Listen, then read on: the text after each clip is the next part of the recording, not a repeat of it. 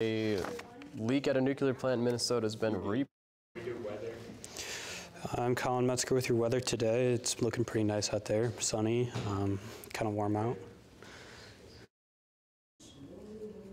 One minute till loss. Sports hasn't changed.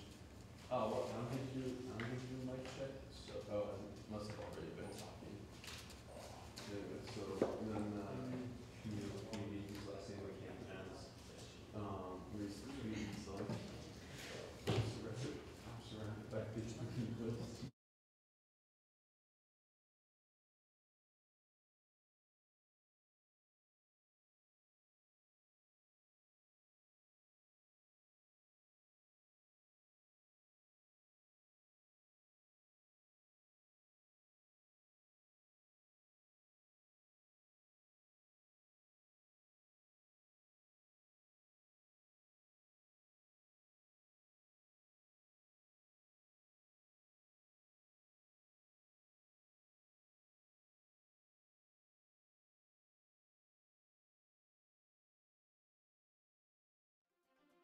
Today on Public Eye News, a Minnesota youth vaping trial of e-cigarette maker Juul opens, and later the death toll rises after an explosion at a chocolate factory. Colin Metzger will have your weather for the weekend, and Michael Cuddy will have your sports update. Hello, I'm Joe Sigourney. And I'm Michael Cudahy, and this is Public Eye News.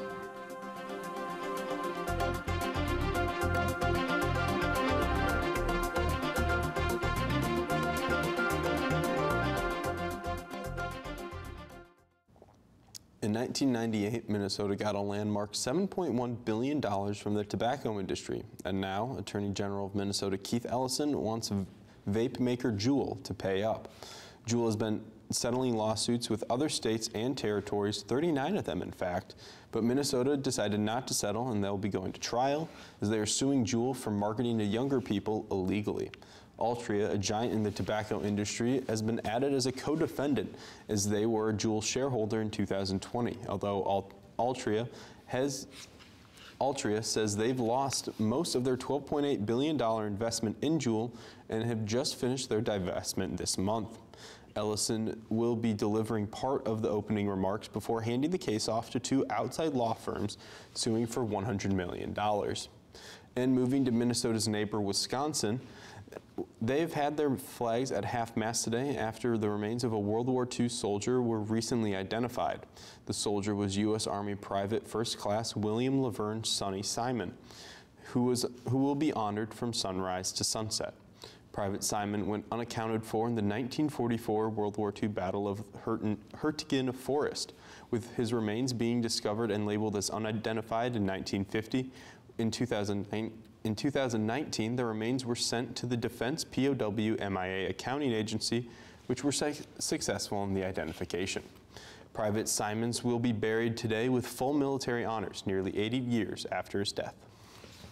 A leak at a nuclear plant in Minnesota has been repaired, and the facility is expected to return to service within a week, according to energy company Xcel Energy. The fault, which allowed water containing a radioactive isotope of hydrogen to escape, was fixed after the power plant was powered down.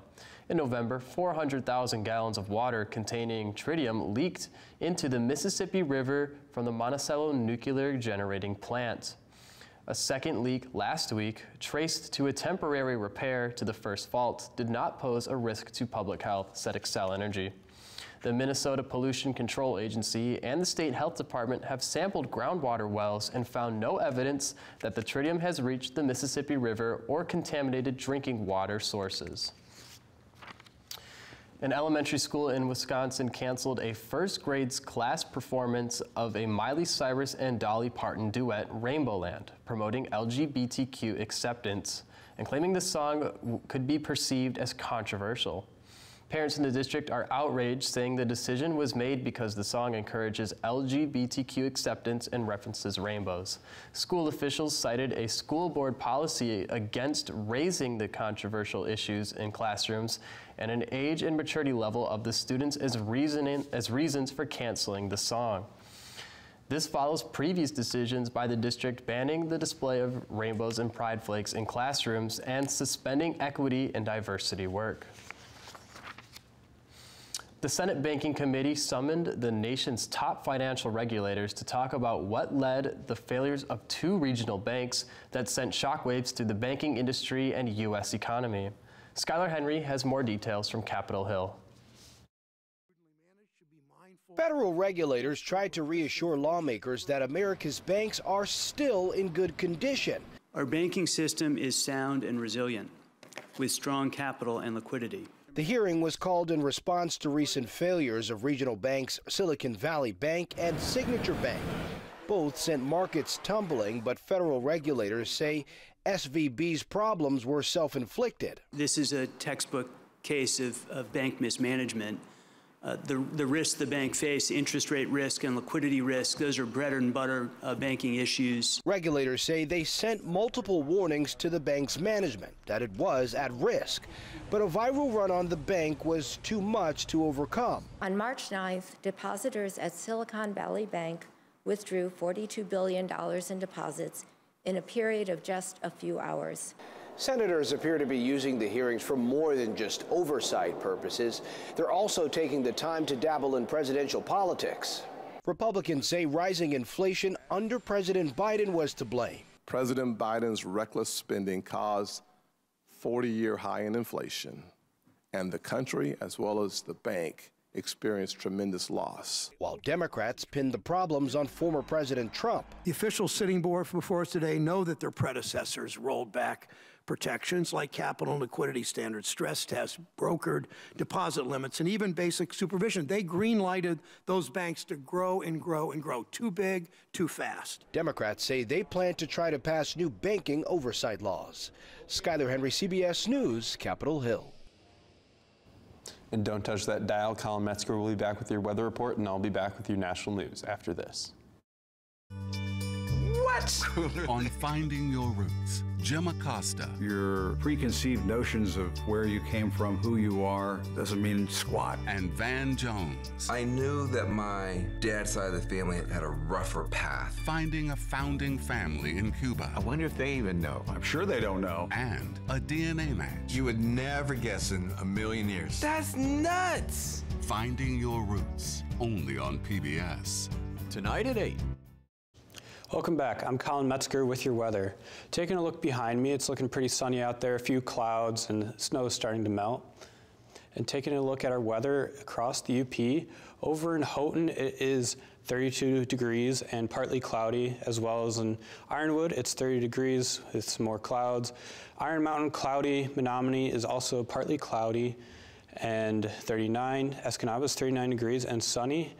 And moving over to Manistique, it is 36 and partly cloudy. Sault Ste. Marie, 34 degrees and cloudy. And moving to beautiful Marquette, our current conditions are 34 degrees and partly cloudy. And winds are out of the north at 10 miles per hour with barometric pressure of 30.24 inches and falling. And looking at tonight, it will be a low of 22, winds out of the west northwest at 5 miles to 10 miles per hour. And tomorrow will be more partly cloudy skies, high of 25, low of 20, winds out of the northwest and moving at 15 to 20 miles per hour. And taking a look at our weather for the upcoming days, it's going to be a high of 40 and low of 30 on Thursday, partly cloudy, high of 35 and a low of 24 on Friday with some snow showers. And Saturday we could see some snow as well with a high of 28 and low of 18. And that's all I have for weather. Back to you guys. Thank you, Colin, for that weather report. And on Friday, there was a deadly explosion at a chocolate factory in West Reading, Pennsylvania, where seven people died and more were injured. The weekend was spent picking up the rubble and searching for survivors, but yesterday started the investigation into what caused the explosion. Chocolate companies are required to take extra precautions to lower the risk of fire and explosions due to the risk of cocoa powder and cornstarch. The West Reading plant has had one OSHA violation in the last five years, eh, with an employee losing part of their finger with the plant paying a $13,000 fine. Two of the seven victims of this explosion have been identified, with the rest expected to be done by the end of the week. And in the state of Idaho, you can now be executed by firing squad as the state struggles to get their hands on drugs used for illegal injection executions. Pharmaceutical companies have made lethal injection drugs more scarce, saying that they were meant to save lives and not end them, causing the governor of Idaho to sign a law bringing back firing squads, which had a veto proof majority. Mississippi, Utah, Oklahoma, and South Carolina also have firing squad laws if other methods aren't available. Republican Idaho, Republican Idaho Senator Doug Ricks says death by firing squad is humane, with one member of his state party disagreeing and saying that it is beneath the dignity of Idaho. And people in Nashville and across the country are struggling to cope with another school, another deadly school shooting. This one at a private Christian school in Nashville Monday morning. A former student, 28 year old Audrey Hale, is accused of gunning down three nine year olds and three school employees. We want to warn our viewers that some of the images in this report may be disturbing to few. Christian Benavides reports from Nashville. Nashville police released body cam footage of officers rushing into the Covenant School Monday morning. Upstairs, they confronted and killed the shooter. Surveillance video captured images of the shooter firing through a glass door to enter. Police are studying a manifesto and maps left behind, hoping to understand what motivated the rampage. She uh, was a previous student. Uh, she had some connections there. Uh, the head of the school uh, was assassinated uh, in the hallway. Uh, so we, we feel it was targeted and planned the victims, students, and staffers at the school. Katherine Koonce was the head of the school, Mike Hill, a school custodian, and Cynthia Peak, a substitute teacher. The students were all nine year olds Evelyn Dieckhaus, William Kinney, and Hallie Scruggs. These parents, their lives are changed forever today. Forever. Many people are stopping by this growing makeshift memorial near the school to show their support and express outrage over another deadly mass shooting. How is this still happening? How are our children still dying and why are we failing them? Police say the shooter was taken down about 14 minutes after the first 911 call. They believe the fast response saved lives. Uh, we uh, strongly believe there was going to be some other targets, including maybe family members and one of the malls here in Nashville, uh, mm. and it just uh, did not happen. Police say the shooter had two assault style weapons and a pistol. At least two of them were believed to have been obtained legally. Christian Benavides, CBS News, Nashville, Tennessee. We'll be back right after this. On American Experience. We should not risk a nuclear war in Vietnam. We learned pretty quickly that Nixon's secret plan was to threaten the North Vietnamese There was feeling like, what do we do next? We didn't think revolution was in the air. We didn't think the United States is going to change overnight. We were part of a long train of people trying to make things right. The Movement and the Madman on American Experience. Tonight at 9 on WNMU TV. And welcome back. The NMU women's lacrosse team bounced back after a tough loss to the fourth-ranked team in the nation to beat McKendree on the road in a th close 13-16 contest. There's no surprise to anyone who was the leading scorer for the Cats. It was Minnie Battelle scoring six goals as the, NM the new NMU all-time leading goal scorer.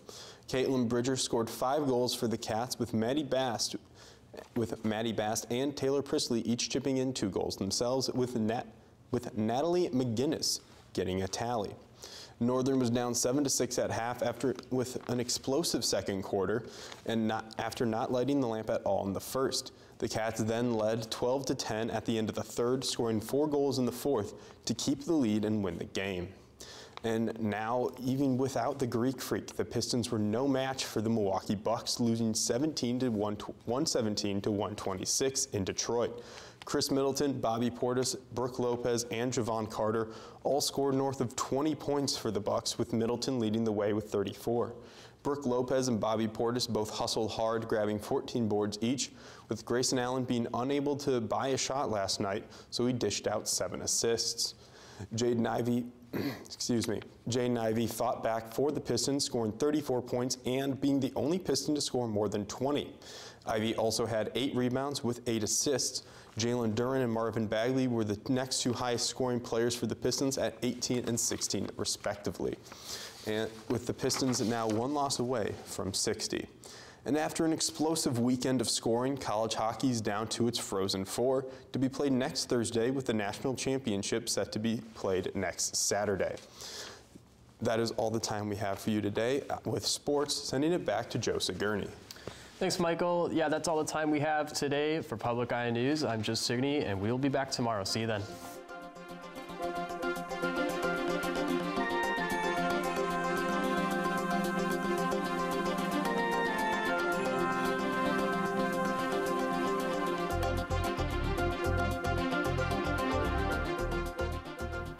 Preceding program was produced by WNMU TV, Northern Michigan University Public Television, in studios located in Elizabeth and Edgar Harden Hall.